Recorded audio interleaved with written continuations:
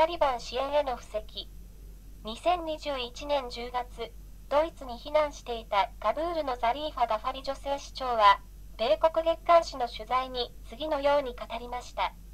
もし、あなた方がタリバンが変わったと信じているなら、あなたの国の客人として少数でもいいから連れ帰ってください。私たちアフガン人は、ぜひ贈り物にしたいと思っています。